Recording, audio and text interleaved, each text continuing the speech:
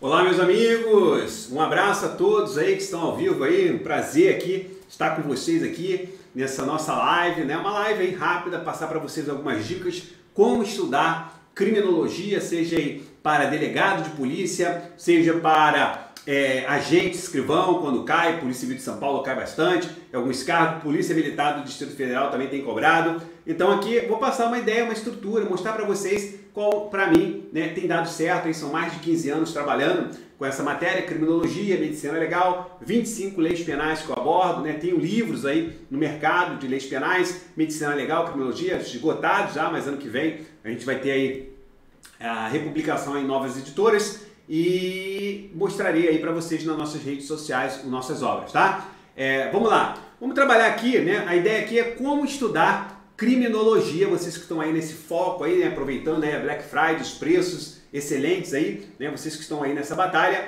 já passando essa dica para vocês aqui, né? Como estudar, né? Criminologia, como é, dicas como estudar. Então esse é o nosso tema aqui. Primeiro eu vou colocar aqui para vocês, né? O conteúdo, né? Um conteúdo para vocês entenderem é, qual, não vou dizer, nem sempre vem assim, por exemplo, se você pegar né, é, a parte de, da Polícia Militar do Ceará, é, acertamos lá, graças a Deus, acertamos aí, quem estudou comigo de segurança pública, criminologia, né? Com certeza conseguimos gabaritar, corrigir a prova lá, assim que saiu, os, os alunos mandaram a prova, corrigir ao vivo, né? É, postei lá nas, na, na, no, no, Instagram também e corrigi, mostrei lá os gabaritos, acertamos 12 questões, então estávamos pensando realmente o que poderia cair, né? Vendo aí vários professores dando palpites errados, né? Fiquei só na minha, porque tem que saber interpretar e tem que ter experiência nessa área. Não adianta ficar aqui é, chutando o que, que a banca pode cobrar. Então tem que pesquisar, tem que aprofundar. Né? E fiz um trabalho de aprofundamento, fui até alguns conhecimentos né, é, dentro da, da, de algumas pós-graduações que eu vi, esses tópicos cobrando, vi o que, que realmente poderia cair e passei para os alunos. E aqui não é diferente, né? Quando você estuda criminologia, seguindo aí nossas aulas, nossos materiais que já estão aqui com vocês aí, colegas amigos do SCVP, né? Vocês vão ver que a gente sempre está seguindo o mesmo caminho, porque esse conteúdo aqui é o que mais cai na parte né, de criminologia, que eu destaco para vocês aqui, ó, por exemplo, criminologia, conceito, métodos, empirismo e interdisciplinariedade. Objetivos é, da criminologia, objetos né, da criminologia, que são as quatro vertentes da criminologia, que é o delito, o delinquente, a vítima e o controle social. Funções né, da, da criminologia, que mais? Criminologia e política criminal, que são ciências criminais, né, o direito penal. Vou explicar para vocês tudo isso aqui. Direito penal, tá vendo? Modelos teóricos da criminologia, que são né, os principais é, é, as principais escolas né, criminológicas, que vêm desde lá da Idade Média, né, os conhecimentos, e avança ali nas principais escolas criminológicas, justamente no período pré-científico ali, marcado ali muito por, pela escola clássica. Já vou passar alguns bisus para vocês aqui. É, prevenção é, de infração no Estado Democrático de Direito, tá? Prevenção no Estado Democrático de Direito, cai muito prevenção primária, secundária e terciária. E também aqui, tá, pessoal, a prevenção primária, ele até destaca, né? E os modelos de reação, e aqui seria 3.7, na verdade, não é uma parte do modelo de reação, que seria vitimologia. Então, esse aqui é um dos conteúdos mais completos de criminologia para você ter uma base em qualquer prova. Aí pode ser que um ou outro edital traga um tópico ali é, diferente, mas nada que vá fugir disso aqui, tá? Nada que vá fugir disso aqui.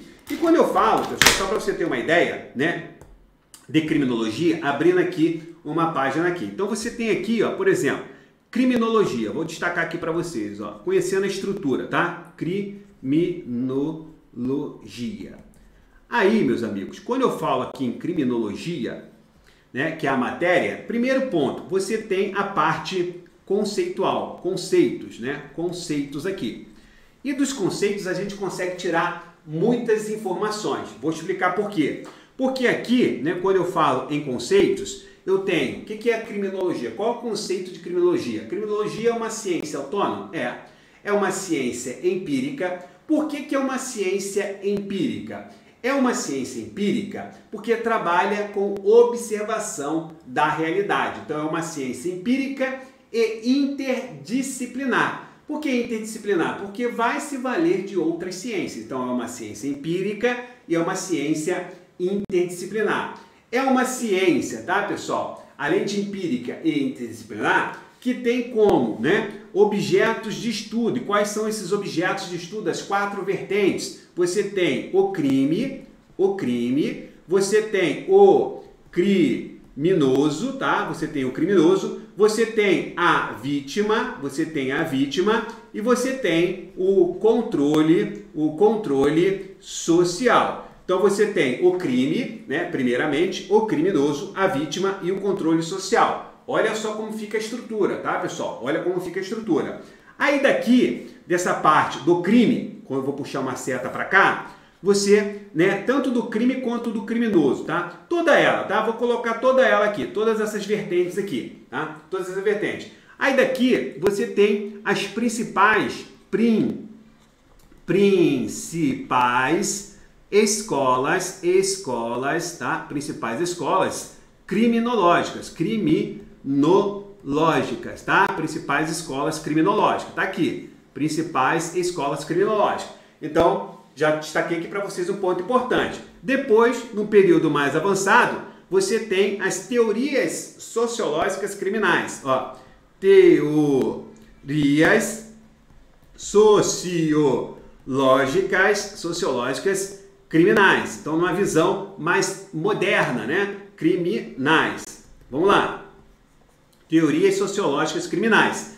E olha que interessante, né? Mudando aqui já a cor novamente. Então, se eu tenho de um lado, né, vou botar aqui vermelho não, vou botar aqui o preto. Então, se eu tenho né, o crime, é, ou seja, o conceito de criminologia, né, então você tem lá a criminologia. E a criminologia, ela é uma ciência, ciência, ciência, tá? Ela é uma ciência criminal.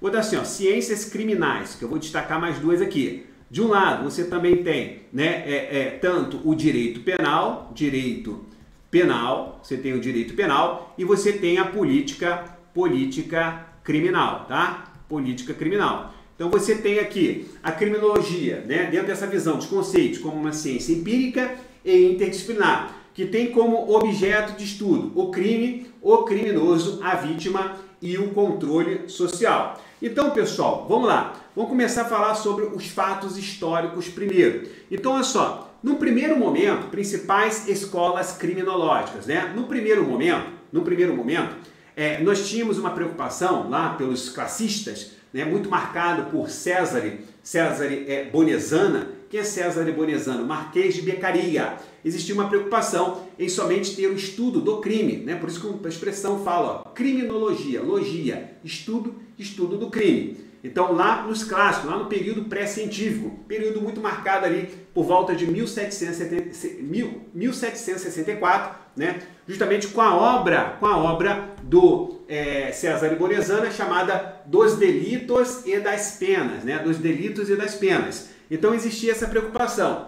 Num período mais avançado, tá? Dentro aqui das principais, então aqui, ó, temos duas grandes escolas, além de outra. Não dá tempo da gente falar tudo, só estou mostrando para vocês a estrutura, tá? Você tem a escola clássica, a clássica são as que mais caem, né? E a escola positiva, positiva. Aí, no primeiro momento, você tem essa visão, conceito somente de criminologia, estudo do crime, tá bom? Depois, o criminoso entra, faz parte a partir do positivismo. Então, os positivistas, né, que você tem lá marcados por César Lambroso, quem é César Lambroso? O pai da criminologia. Então, César Lambroso é o pai da criminologia. Né? Então, ele, vinha do, ele veio do positivismo antropológico, ele vem do positivismo antropológico. Depois né, do positivismo, você tem o positivismo antropológico, aí você tem o positivismo jurídico de Rafael Garófalo e o positivismo sociológico de, de quem? Positivismo sociológico justamente é, é, é, de é, Henrico Ferri, discípulo de Lambroso. Então, tanto Henrico Ferri como César Lambroso trazem né, essa preocupação, né, e Garófalo traz essa preocupação com o, o, o conceito do criminoso, ou seja, o estudo do criminoso. Entrando nesse conceito, aí passa assim, estudo do crime e do criminoso, isso dentro do positivismo. Ainda não tinha preocupação com a vítima e nem com o controle social, entenderam?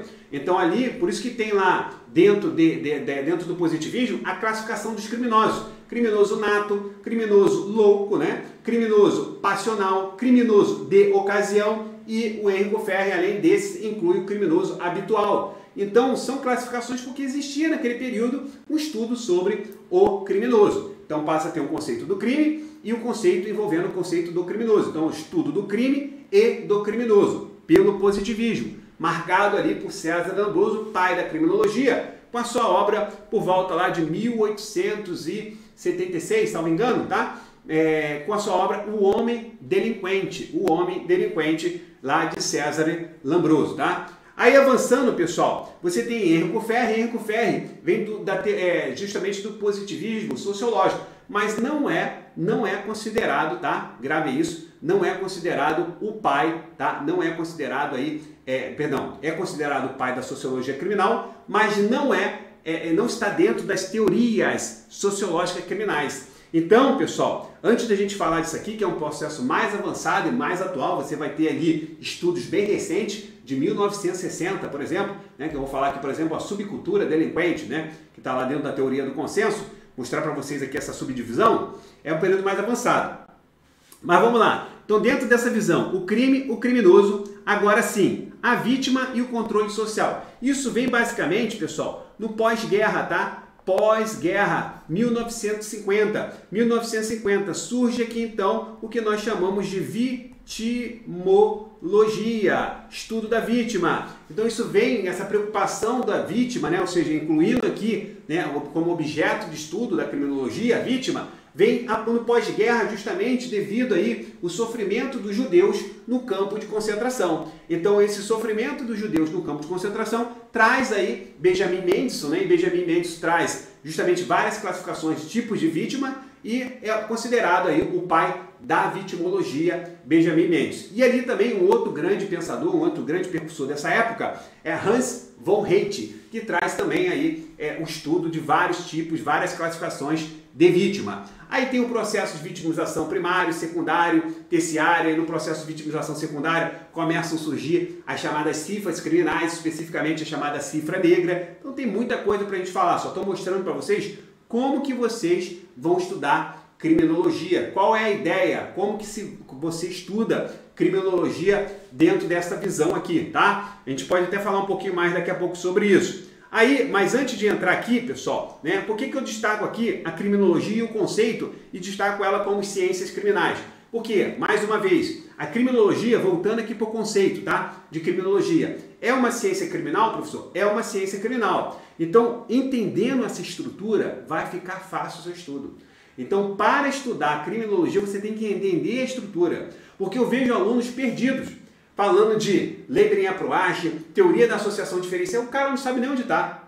Né? Escola de classe, sua escola clássica, teoria da associação diferencial, o cara fica perdido. Eu estou mostrando para vocês. As principais escolas estão aqui, né? Que você vai estudar clássica, a, a, a, positiva, vai estudar terras escola, a terceira escola italiana, né? A nova defesa. Então essas escolas vocês vão estudar aqui. Por quê? Teorias sociológicas, macrosociologia criminal é outro papo, é outra história, é algo mais avançado, é algo mais moderno, que é dividido em teoria do consenso e teoria do conflito. Então aqui, né, eu já vou, já que eu falei, só vou separar aqui, aqui nós temos uma subdivisão chamada teoria do consenso, tá? Teoria do consenso e teorias do conflito, conflito, teorias conflituais tá bom? Isso já é uma visão muito mais avançada, muito mais moderna, tá, pessoal? 1967, por exemplo, bem recente, né? Você tem ali né, uma forte influência da teoria crítica, a teoria radical, que vem aqui dentro da teoria do conflito. Já vou mostrar para vocês.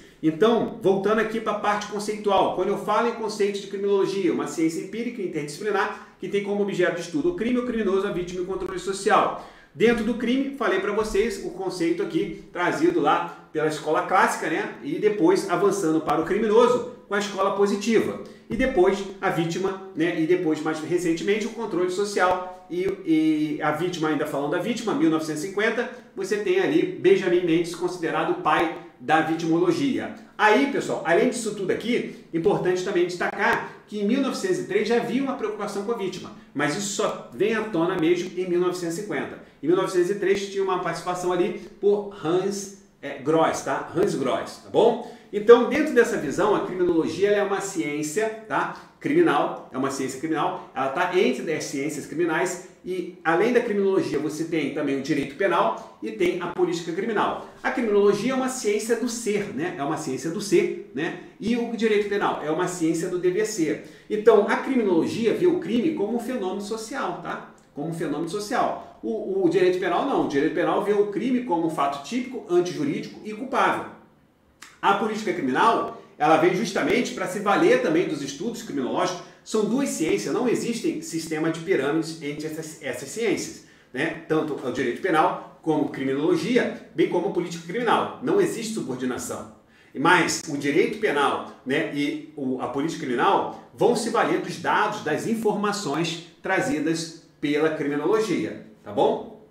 Vão trazer. Por quê? Vão trabalhar, a criminologia passa essas informações, passa os dados, índices, porque a criminologia ela é prevenção, não é repressão. Agora, a política criminal ela pode ser repressiva ou até mesmo preventiva. Mas essas duas ciências vão se valer do direito penal? Sim, vão se valer. O direito penal é uma ciência normativa. A criminologia não é normativa, né? A criminologia não é teorética, não vive somente no mundo das teorias, tá bom? Então, é, isso tudo cai em prova que eu estou falando aqui. O que eu estou falando para vocês aqui é basicamente uma revisão. Estou mostrando a estrutura, mas é basicamente uma revisão para vocês aí.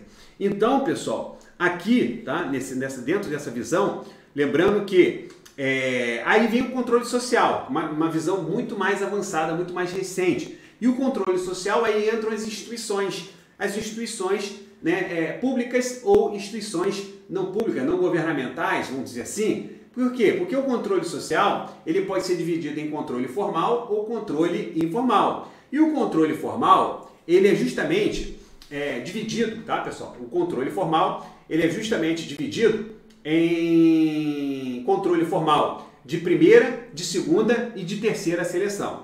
Primeira, segunda e terceira seleção, tá? Onde eu tenho controle primeira seleção? Eu tenho lá é, a Polícia Judiciária, no segunda seleção o Ministério Público e terceira seleção eu tenho, né, nesse caso lá, eu tenho lá o que nós chamamos, é, na, nessa terceira seleção, tá? Eu tenho é, a, o sistema penitenciário, tá bom? O sistema penitenciário ali entra, é, ou até mesmo o Poder Judiciário. O Poder Judiciário, o sistema penitenciário, as Forças Armadas entrariam na terceira seleção. E o controle formal é informal. Formal, de, eu já falei, primeira, segunda e terceira seleção. E o informal? Aí entra a família, escolas, igrejas, o papel importante ali é, também dessas instituições, né, instituições não governamentais. E aqui, pessoal, já puxando aqui, né, quando eu falo em controle, mudar até aqui a cor, tá? Aqui tem uma ligação a outro tópico do edital de vocês que eu mostrei aí, né, do quando vem, justamente quando a gente fala de prevenção prevenção no Estado, Estado é, democrático do direito, tá? Democrático do direito, de direito. Por quê? Porque aqui eu tenho a prevenção primária, a prevenção secundária e a prevenção terciária. E a prevenção primária, ela tem tudo a ver com a base, apesar de ser o Estado presente, tá? O Estado quando fornece né? ou seja, políticas econômicas, políticas culturais, saúde, educação. Ele está trabalhando a base primária, né? ou seja, trabalhando a base da pirâmide, que é a prevenção primária. Então a prevenção primária é a base da pirâmide. Então a partir do momento que eu tenho uma problemática, tá? isso tem a ver com o controle formal, por quê? Porque é o Estado presente. Só que aqui é, fala de, em prevenção. Então, quando eu falo em prevenção primária, é o Estado fornecendo a base da pirâmide.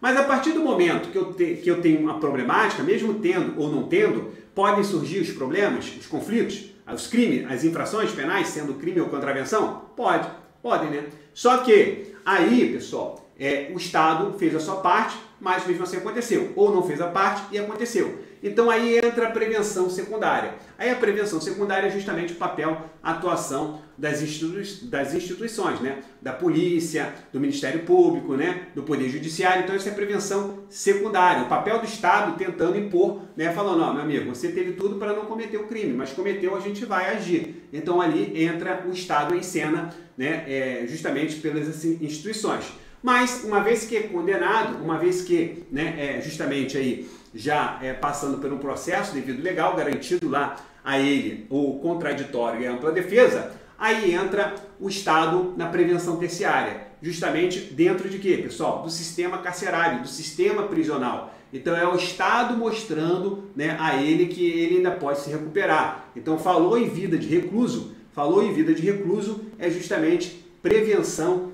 terciária, pessoal, é prevenção terciária. Lembrem disso na prova. Falou em vida de é, falou em remissão da pena, em trabalho é, interno, preso, provisório, falou qualquer coisa, isso é prevenção terciária, tá? Prevenção terciária. Então tem uma ligação muito próxima à questão do controle, justamente porque o controle formal ele é feito pela, pelas instituições também, tá bom? E o controle informal, aí é papel da sociedade, papel da sociedade fazendo, tentando fazer também, né, paralelamente, a, a, o trabalho do Estado na prevenção primária, que é justamente fazer aquele trabalho as familiares, escolas, as igrejas, né, os clubes de recreação, tentando ali é, deixar aquela pessoa, principalmente pessoas que ficam vulneráveis, né, malvivência, pessoas que ficam expolimórficos, vivem às margens da sociedade, que estão mais vulneráveis ao crime, tá? Que aí entra no questão dos fatores desencadeantes, que está lá no edital de vocês aqui também, ó. Tu vê que uma coisa puxa a outra, tá aqui, ó,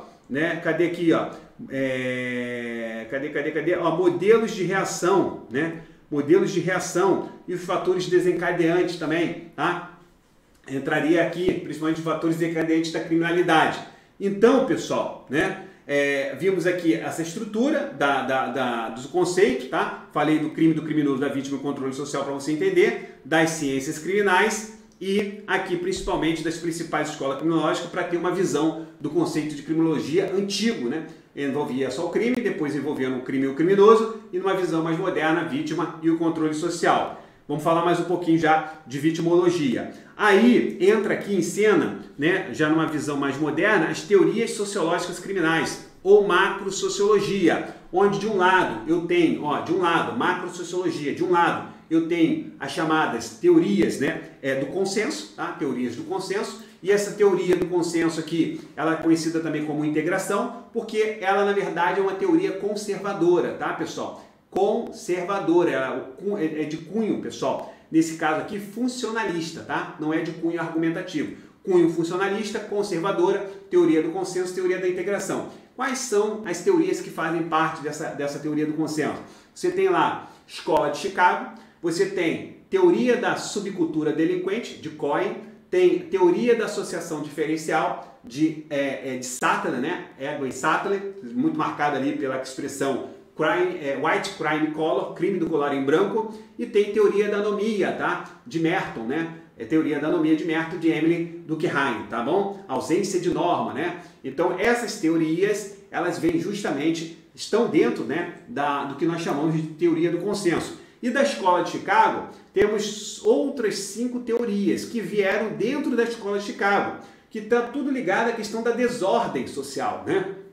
Teoria ecológica, a teoria espacial de Oscar Niemeyer, lá, arquiteto, colocando o problema do crime, a questão arquitetônica da cidade, a teoria é, das janelas quebradas, tá? a teoria das janelas quebradas, a teoria dos tecidos despedaçado e tolerância zero. Então essas cinco teorias são teorias que estão dentro, que vieram dentro das ideias da escola de Chicago. Olha só quanta coisa importante né, que você tem que estudar. E, por outro lado, nós temos as teorias conflituais, teoria do conflito. E a teoria do conflito vem justamente, pessoal, né, dentro daquela visão de cunho argumentativo. São teorias progressistas, tá? Teorias progressistas porque são teorias aí que realmente estão ligadas a é, uma visão mais moderna, uma visão mais né, é, é, progressista e não conservadora. Por exemplo, como Leibniz e Aproache, que é a mesma coisa do que teoria da rotulação, teoria do etiquetamento. Então isso é uma visão mais moderna né, dessas teorias. E temos também a teoria crítica e a teoria radical. Todas essas, né? Mesma coisa, quando eu falo crítica, radical é a mesma coisa, e quando eu falo rotulação, etiquetamento,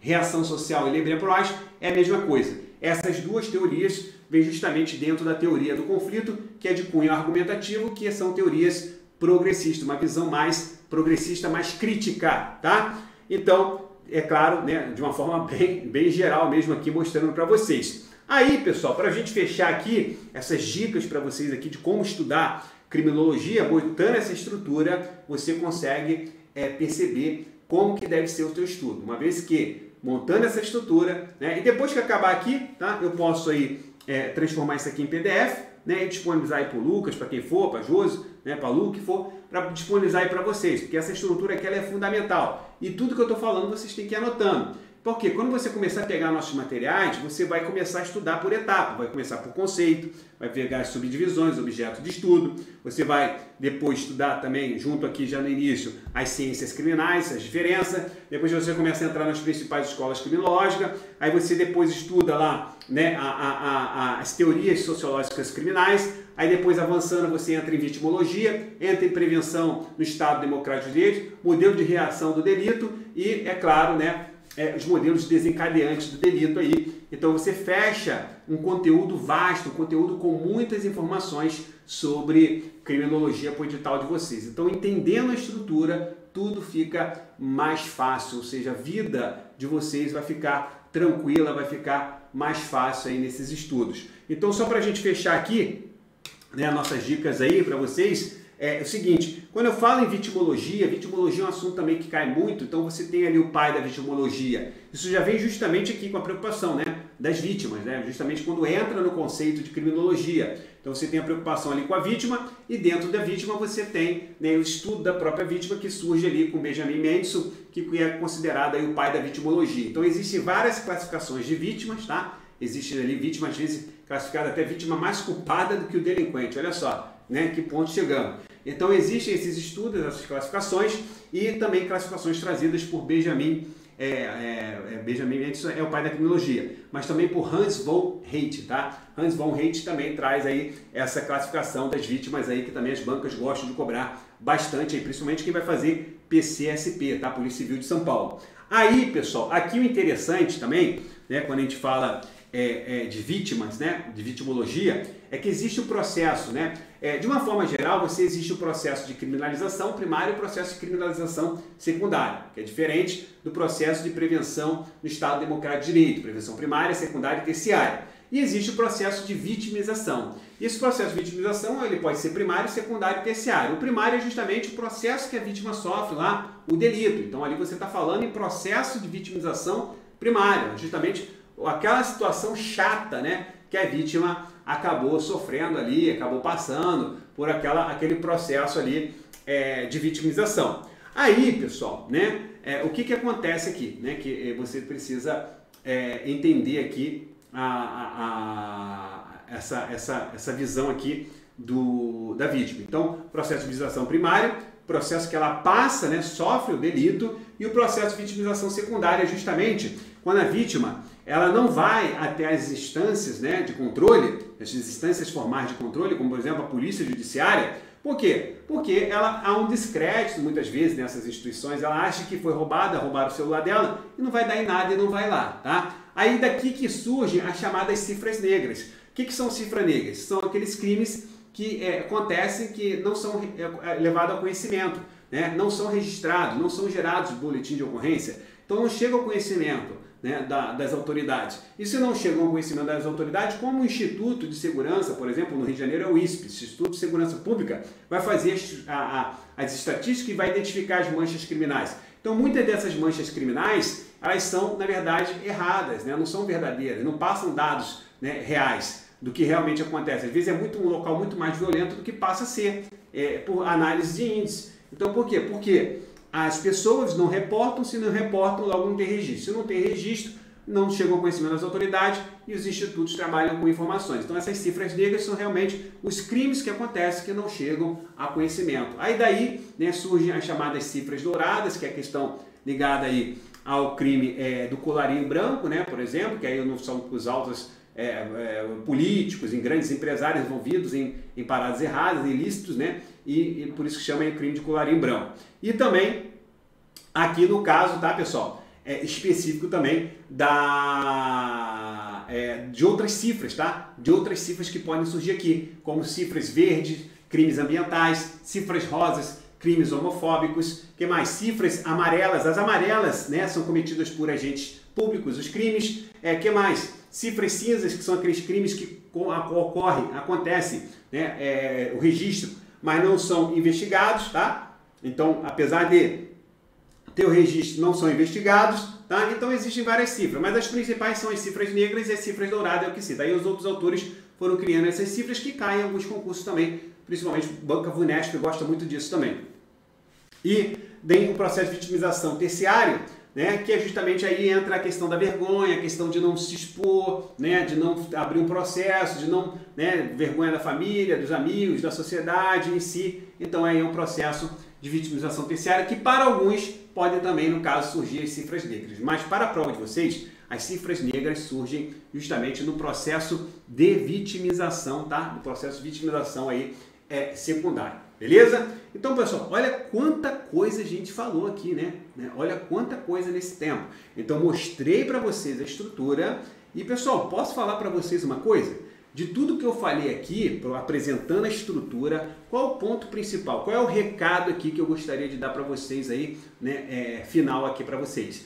É justamente mostrar para vocês o quanto que você tem que prestar atenção na estrutura da sua matéria. Eu sempre faço isso nas matérias. Eu abordo, eu abordo criminologia, medicina legal, legislação de trânsito, que já estudou comigo, vários aprovados aí, inclusive professores hoje aí, né, dando aula, que foram meus alunos, tá? Que estão lá na PRF, né? Fico muito feliz com o sucesso também deles. Então, olha só, mostre sempre a estrutura, a visão macro, né? Isso é importante, a estudar trânsito vai estudar leis penais, as 25 leis penais que eu abordo, né? vai estudar é, medicina legal, é interessante eu mostrar a estrutura da matéria. Então, tudo você tem que conhecer primeiro a estrutura, você não estudar perdido como criminologia, principalmente criminologia. Senão você começa a misturar as teorias, né, as escolas, começa a misturar ali as classificações, processo de vitimização, processo com prevenção primária, processo de criminalização. Então tem que entender primeiro a estrutura para você começar depois trabalhar passo a passo ali